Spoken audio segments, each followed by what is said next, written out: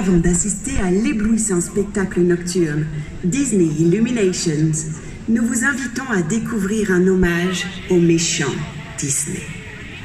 Ladies and gentlemen, boys and girls, just before our Disney Illuminations show begins, and as part of the Halloween season, we would like to celebrate our favorite Disney villains.